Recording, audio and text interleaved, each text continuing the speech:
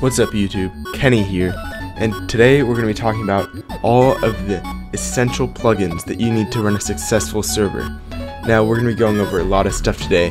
It's not going to be more of an in-depth tutorial, it's going to be more of a broad, giving you an idea of all the plugins you can use. Of course there's tons more out there and a lot of other options, but these are what I would personally recommend. And there's a number of regions, a lot of the times it's customization, how much more options they have over other uh, plugins. But to start, on your screen you can see we have already gone over a number of these plugins in the past. So I'd recommend that you check out all of those because they may or may not be involved in this tutorial. So just make sure you know how to use all those plugins. If you don't, go ahead and click on any of those links and that'll help you out immediately. So the, the, what this tutorial is basically going to be doing is going to be telling you the pros and cons of each of these plugins that I recommend. So the first plugin that I'd recommend is HeroChat. Now, why do I recommend this plugin over the other ones? Well, if you compare it to Essentials Chat Manager, Essentials is very basic and offers hardly any customization options at all.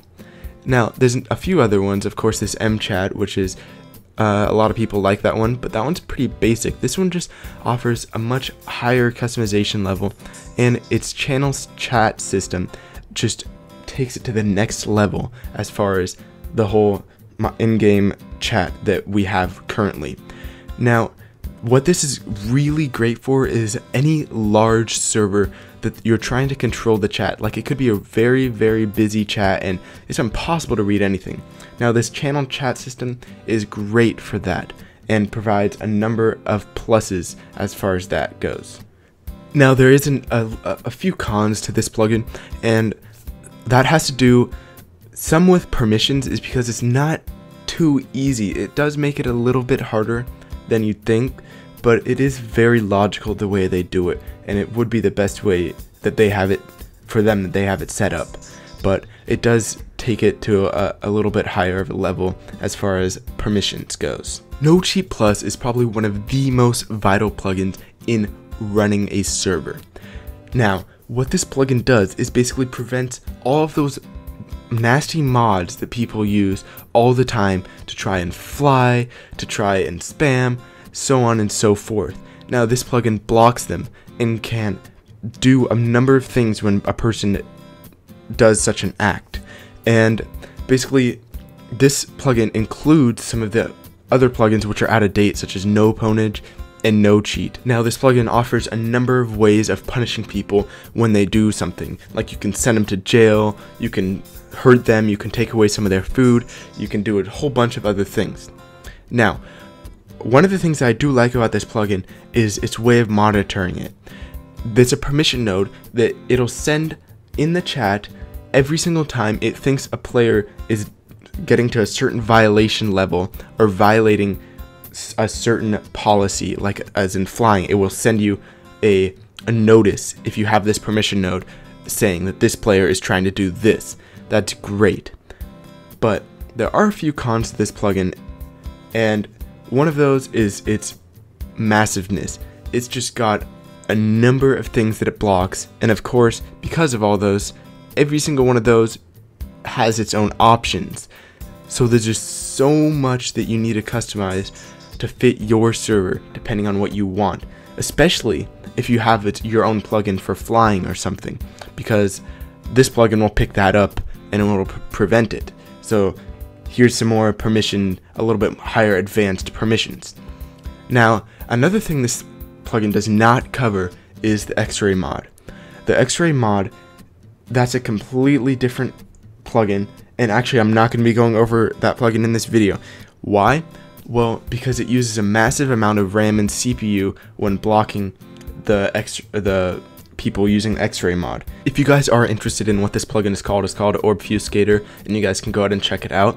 It will also be in the description along with all these other plugins that I do discuss in this video. Guardian is another great plugin for server management. Basically what this plugin does is it's a block rollback plugin. So let's say you have some massive griefing, griefing on your server. Basically, you can just click a block, find out who did it, and roll back all of their actions over a certain amount of time or roll, roll back all of their actions, period.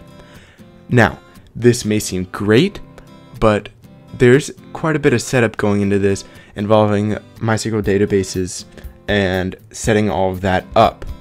Now, there is a number of problems with this plugin. Right now, another plugin out there is Hawkeye. Now, Hawkeye is not updated, but it will work with the latest release of, of CraftBukkit. So there's a little bit of changing there. So as soon as uh, Bukkit updates to probably 1.3, Hawkeye won't work anymore. So that's the thing. Um, also, Guardian does not support World Edit yet. As of right now, it doesn't. So World Edit, you'll kind of be on your own there, and you won't be able to roll back that. One other drawback to this plugin is its lack of commands.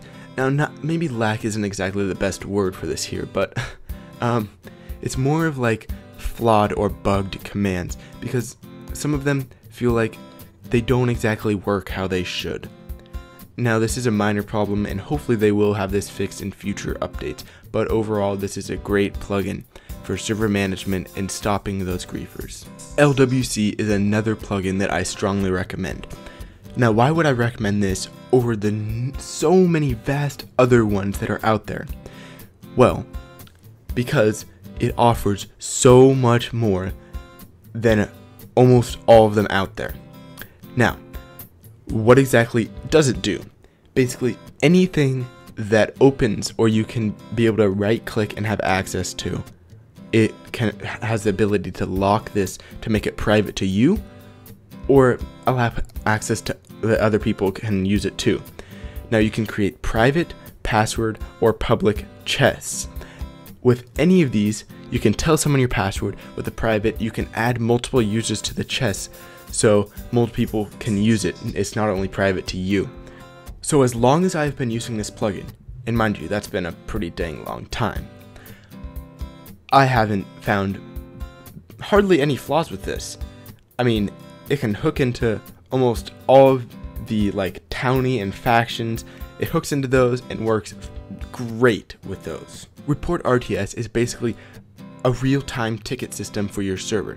Now what that means is people are able to do a command and that sends a ticket in to the whole system. Now you can configure who receives these tickets so that who's able to respond to them, such as you, only your mods, admins, and up. So, what does this mean? Basically, when they send a ticket, they could send in a ticket asking for, like, can you please come over here and protect my stuff? Or, hey, I found some griefing over here. You should probably try and fix it. Now, what you can do is teleport to the ID and fix it or set their protection for them. And then as soon as it's done with, you're done for their request, you can finish the ticket and get rid of it. Great plugin for server management. One flaw to this plugin so far is its development stage. It is in the beta stage right now, so it is not in the release stage. But it seems to be kept up to date, and it seems to be constantly having updates. So that seems to be pretty good. Vanish No Packet is the higher end Vanish plugin. Now there's another one called Simply Vanish, and it's a lot simpler than this one. Now what Vanish No Packet does is it basically vanishes you from player sight. So you can do a command and then you're completely vanished. Now, it's not going to vanish like if you hit F5 and switch views, you're not vanished on your screen. It just hides it so you aren't able to be seen by other players. Now, this can be used for good or bad. However you use it, it's really great on like catching people who griefing, catching people who cheating, catching people with X-ray. Great for all of that. So, as far as this goes, another wonderful plugin for your server. Now, Vault isn't exactly a plugin to go over. It's basically a library for other plugins to hook into to link to each other. Now, I just recommend having this plugin in general because so many other plugins use this. So just go ahead and add it to your server. It's not to affect it in any way. So, Auto Announcer. This is a good plugin if you want to be able to tell people about certain things going on. Announce an event, tell them about something new that you just released on your server. Now, the reason why I actually do like this one a lot is because you're able to customize the tag when the server announces it. Now, a lot of plugins force you to have their own tag. This one you can customize it. Now I know that there is uh, quite a bit of other options for this, and basically the only reason that I I use this one is customization for the tag, and I'm sure there's another one out there, but uh, this is just the one that I have been using lately. Now the final plugin, yeah, the final plugin that I would recommend in server management is Autosave World. Now you may be like, well this doesn't really seem like server management to me. Well it actually is, because technically your server could crash at any time, and when it crashes, it doesn't save the world.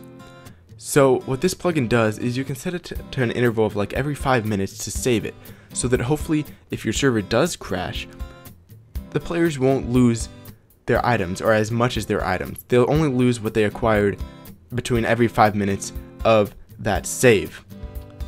This is a great plugin. It also has a number of extra features such as backups and so on and so forth. Another thing that I really do like about this is the huge amount of customization that you can do. Now, as you've probably noticed, there's a little trend here. All of the plugins that I've been recommending all seem to have a lot of customization. That is really how I pick out my plugins, and that's how I suggest you guys pick out plugins when you run your server. I don't recommend just going to Bukkit Dev, get plugins, and then just looking through them. You gotta really test them out, make sure you understand them all before you incorporate them into your server, hopefully preventing or increasing more people to come to it, and overall helping you have a better server. Now, if you guys want to come by, come by my server, talk about some server stuff, I don't know, you guys can go ahead and visit us at our server. The IP is on the screen or in the description. If you guys just want to talk, hang out, play on the server. It's great. If you guys want to see how what the plugins do, you can go ahead and check them out on my server. All of them are running on it too, because I do recommend them, of course. And there's an auto announcer right there. So hope you hope to see you guys there. And I'm Kenny. I'll see you guys next time.